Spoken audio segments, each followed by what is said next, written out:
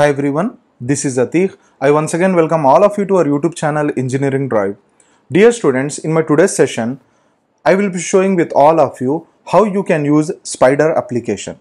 Spyder is a very very important application if you are interested to implement various types of Python programs.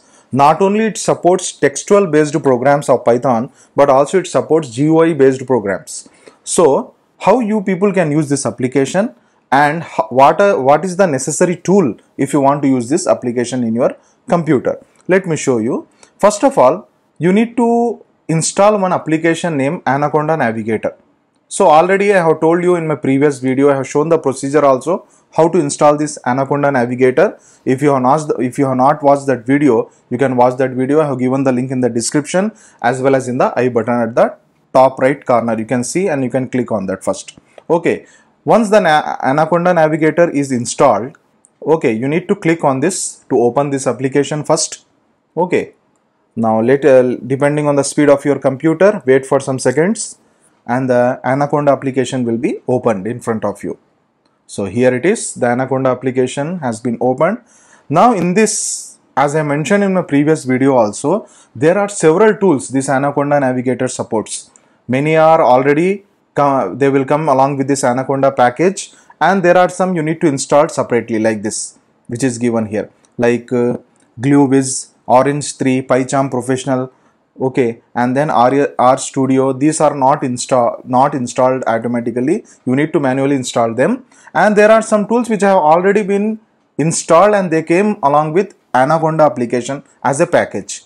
So like this one tool is the Spyder which I am going to show in my today's video so this Spyder application I will recommend all the students if you are interested to do Python programs then Spyder is one of the very very important and user friendly application. Okay the good thing about Spyder application is not only it supports textual based programs but also it supports very interactive based programs with full GUI okay that is one of the benefit. Now in order to use this application first of all you need to click on this launch okay no need to install separately just click on this launch and it will show you it is showing you launching Spyder. So wait for some seconds. Okay and uh, the Spyder application will be open. So the Spyder application has been opened. Now it, it will take some time when you open it for the first time. Okay now it is showing you connecting to kernel. So you need to wait for some seconds.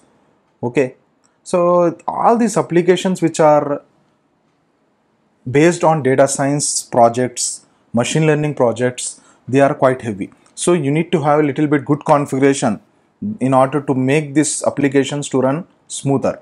So my dear students, now you this is the interface of your Spyder app, Spyder application. So this is the place. So you can see here the left side where you need to type your Python programs and this is the place where you can see your output. This is console. So here you can see your output. Okay. And this is the place. Here also you can see this is plots here you can see your GUI based outputs means if you want to interest if you are interested to draw bar charts if you want if you are interested to draw other types of GUI based graphs then the, the entire output of the Python programs will be shown here in this panel. So let me show you one sample program now how you people can type the program and how you can see the output. Okay, so already one uh, temp.py file has been created so here in, you can type your Python program. So let me increase the size, okay, so that it is clearly visible to you. So you can press Windows plus button on the keyboard if you are using a Windows operating system. So for example, if I want to write a small Python program, let us say addition of two numbers. So a is equal to 10, b is equal to 20, c is equal to a plus b, print C. So automatically it will give the syntax also to you how you can use this application. Now how you can use this concepts okay in this application like print. Print is a function in Python which is used to display the output and what are the things that print function supports each and everything will be given here as a description to you okay as a help. Now this is a small Python program which I have written which calculates and displays sum of two numbers. So here we need to get the output 30. So in order to see the output, you can see at the top of the menu bar. Several buttons are there several options are there here. So let me make this one large the window. Okay and you can see here there is one button you can see run file or F5 button you can press from the keyboard okay this button is used to run your python program interpret your python program. So you will get the output here in this window that is console. So how to see the output? So just click on this run and here you can see this is the output. That is what you got 30 is the output. Okay so let us say one program I have completed. I want to open one more program now. How to open the new program in the Spyder application? So simply you can see one icon here which is in, which indicates new file. So click on this. And it is ready to go again. So here again you got this new window with some program already. So erase this one delete this one. Okay. Again windows plus button. You can press to make this screen large to increase the font size. Okay. And here you can start your program again.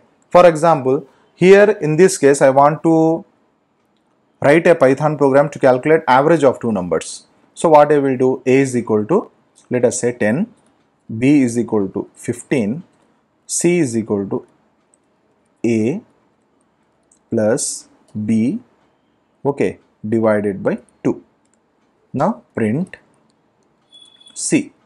So this is my average I want to display. So let us say directly I have typed this program. Now if I want to see the output click on this run file so you got this output. What you got output here? You got this output 12.5. So dear student, this is how simple this application will be in order to run and type, in order to type and run various types of Python programs. These are the simple programs I have taken in order to give you idea about the working of this application. Now the next thing in this application is typing completed and we have run the program also. How to save this program? Suppose by default untitled 0.py is there in order to save this program, simply click on this icon, save file. Okay. And here by default, untitled 0 is there. You can give your name. For example, average.py. Okay. Click on save. Now you can see your program has been saved successfully. Okay. And you can run this program several times to see your output whether it will it will match your input or not input data or not so we got 12.5 so when we see our input 10 plus 15, 25 by 2, that is 12.5 is the accurate answer. So dear student, this is how you can use the Spyder application in order to run your Python programs. So any types of doubts, any types of queries, simply you can put it in the comment section. So with this, let me close my today's session of video. See you soon everybody. Take care. Allah Hafiz.